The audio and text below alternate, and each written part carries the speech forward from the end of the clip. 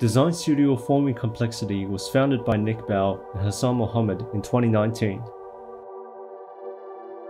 The studio has been running for two years at RMIT University Architecture School. Nick and Hassan are both registered architects in Australia and PhD researchers in architectural engineering technology. Forming Complexity is a design studio in the territory among digital fabrication, algorithm design, materiality, additive manufacturing, and the structural optimization of complex forms.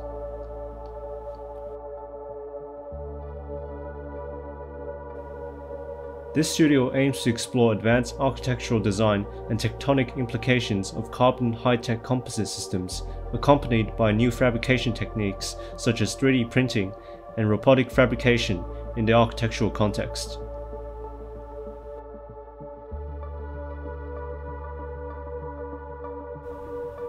Now robotic fabrication and 3D printing are rapidly changing the feasibility of constructing geometric structure with a high degree of intricacy. Therefore, emerging architectural design approaches that leverage the capacity of algorithmic design and digital fabrication methods such as robotic fabrication and 3D printing are able to create a highly intricate built architecture in the near future, especially in the city of China.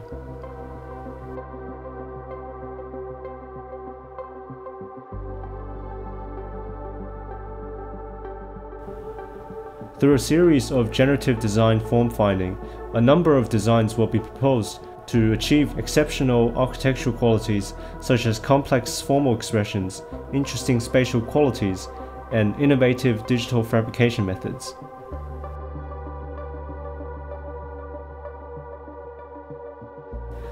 The studio will explore a series of architectural components and building systems to reimagine architectural style influenced by the implication of robotic fabrication and high-tech composite materials in other industries such as aerospace and automotive, which have transformed the culture and approach towards design and fabrication in these industries for many years. Students will design a series of architectural components and building systems to reimagine architectural style.